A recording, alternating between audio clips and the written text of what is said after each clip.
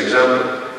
As I said, 58 years since I first encountered a large, loose-limbed young priest who was also then beginning his first years in Columb's as a maths teacher. But his benign, relaxed manner and his clear, candid Donegal accent have stayed with me ever since. His voice was like a welcome to algebra and geometry. It felt like an earnest of potential in those subjects, and therefore it constituted a boost to my trembling confidence at that point. And therefore, there's no exaggeration to say it thereby also constituted an aid to my at-homeness in the world at that time. On the other hand, it's 55 years since I entered the classroom of a very different maths teacher.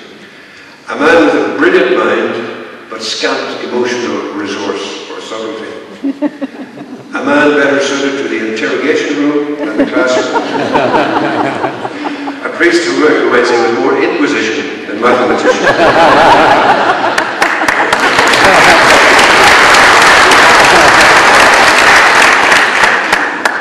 A man that was uh, certainly uh, unsympathetic.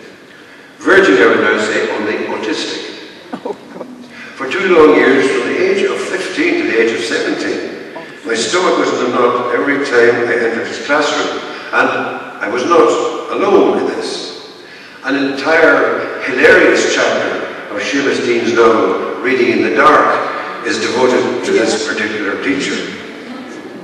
And nowadays, when balding past pupils of the college meet together, they, uh, they're like a congregation of ancient mariners, uh, skinny handed out, holding on each other differing eye, remembering friends, repeating and mimicking those traumatic moments in the classroom, in the other days around us.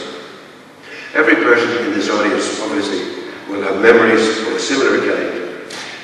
And everyone, also I'm certain, will know that some of the most enduring effects of their education came about indirectly from lessons that were not an official part of the course of study, but rather lessons learned through some incidental revelation of the teacher's inwardness, some action or remark that gave a sense of his or her intimate self, of the personal, subjective being behind the school presence, behind the persona.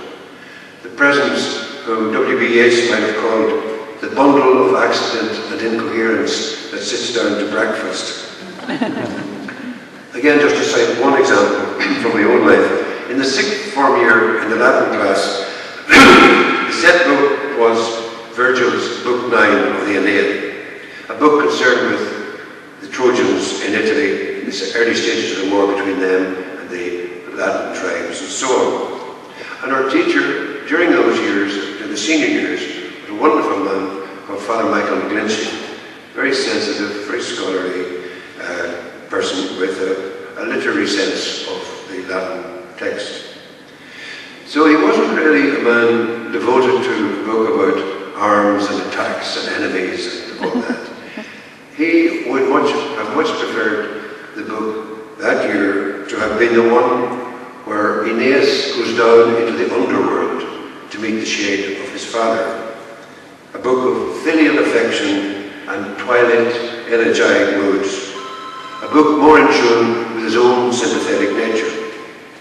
Ah, boys, Vincent used to say repeatedly in the course of that year, in kind of a sigh that you couldn't help hearing. Ah, boys, I wish it was book six. and in fact, the note of longing in that involuntary refrain was more important in leading me back to Virgil in later life than any study of the prescribed text. The wistfulness in the man's voice as he thought about Book 6 stayed with me long after I had left the college and would eventually cause me to spend a couple of years on and off translating that book, making it my own in the end, because in the beginning it had meant so much to my teacher. One of the most important friends I have had was the Russian poet Joseph Brodsky, the late Russian Joseph Brodsky. And Brodsky's voice was one of the most daring and affirmative I have known. But perhaps the boldest and most challenging affirmation I ever heard him make was as follows. If art teaches us anything, he used to say, if art teaches us anything, it is that the human condition is private. The human condition is private. I repeat that declaration because I realize I've been emphasizing the private, inward, subjective aspect of the educational experience. What John Keats might have called the schooling of the intelligence until it becomes a soul. And I emphasize this deliberately because subjective experience is obviously an essential factor in the development of an individual's characteristic disposition, in his or her readiness to relate adequately, hopefully perhaps affably, to the world. But in talking like this, I am very much aware that I've not been attending to matters which this association is primarily concerned with. Representation of the interests of teachers as professionals, advocacy on their behalf at the secondary level, concern for adequate funding, efficient administration, effort on behalf of the staffs and students, and so on. I could and should, on this centenary occasion, commend the Society, the Association's century of uh, achievement and also its present commitment, especially to equality of access, which has been stressed recently. Access for all students, irrespective of gender, race, religious belief, and so on access to equal treatment and opportunity. I could have acknowledged the rightness of the Association's opposition to education cutbacks in this era of economic crisis, spoken of the need in our contemporary situation for more emphasis and value to be placed on the teaching of science subjects, the need to educate for an Ireland that will have to recuperate and fend for itself if it is, if it's to survive the present downturn. The need to educate for a social and economic future where we can once again believe in and achieve our best possibilities. All that does indeed warrant affirmation, but that job can be done with more competence and conviction by yourselves and by your guest speaker this morning.